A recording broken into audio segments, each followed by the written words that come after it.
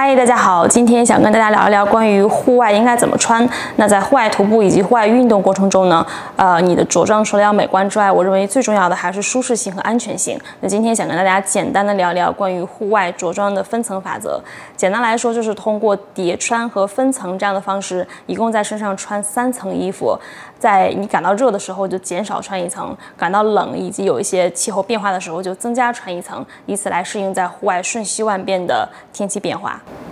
OK，那第一层呢叫 base layer，也是贴身层，它是我们穿在呃身上最里面的一层，是离身体最近的一层衣服。那这层衣服的特征就是要吸汗和速干。啊，我这边有两件我自己常穿的 base layer，可以给大家呃示范一下。这一件灰色的呢是 Smart Wool 的一件 base layer，它的成分主要是羊毛，它非常的保暖，然后有很好的这么一个吸汗性。我通常会在天气比较冷的情况下，尤其是冬天，我最里层会穿它。然后我这边还有一件，这件相对比较，呃。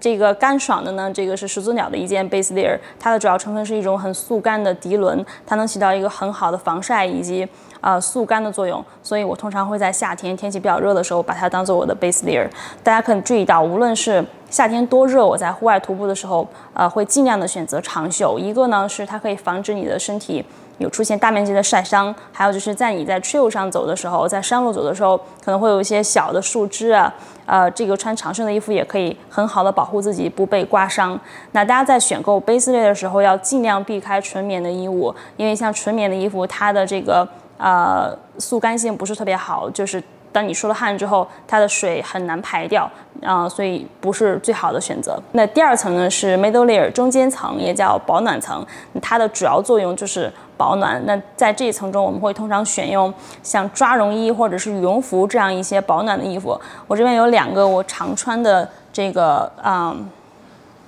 保暖层的衣服。这一件呢是啊 Patagonia 的一件抓绒衣，它非常的暖和，非常舒适，而且呢它的这个吸汗性也比较好，很透气。那啊，我这边还有一件，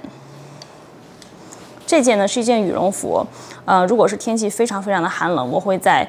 呃中间层选择用羽绒服，因为它的保暖性会更强一点。但是它的缺点就是不如刚才那个抓绒衣透气，透气性会稍差。那大家在选择中间层的时候，还要注意一点，就是我们希望的是这个中间层的衣服，它在呃收纳起来之后会非常的小，以及非常的轻，不会太占用你的背包的体积。因为我们在户外徒步，一旦热起来，最想脱掉的肯定是这一层，所以在很多情况下，它都是要打包放在背包里的。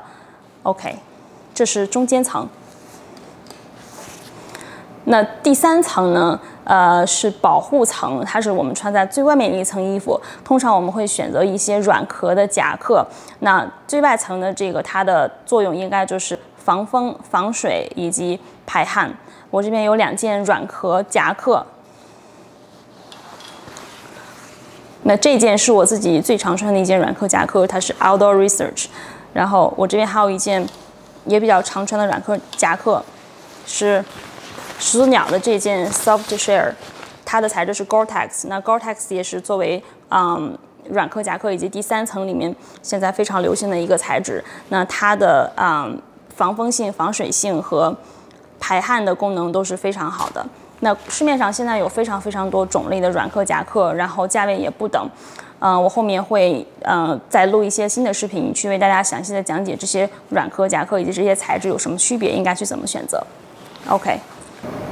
OK，那以上就是关于这三层衣物的介绍，分别是贴身层、保暖层和保护层。那关于在户外徒步以及户外运动中怎么穿衣服，我的建议是，无论你出发的时候天气怎么样，最好都要把这三层衣服都带着，背在你的背包里。呃，这样呢，如果说天气突然间降温，或者是突然间有大风或者降雨，你可以及时的穿上第二层或者第三层的衣服，对自己起到一个保护作用，以此来适应户外瞬息万变的这个天气变化，尤其是在深山老林中的时候。那如果说你实在是不想带这么多，或者是你的背包容量有限，又或者是天气真的特别热，我觉得在你穿着 base layer 的基础上，也至少要带一层这个软壳夹克，以防止突如其来的大风或者是降雨，尤其是在深山老林的这个环境下，其实这个气候是很。难预测的，有的时候你多带一件衣服，很有可能会在最关键的时候对你起到保护作用。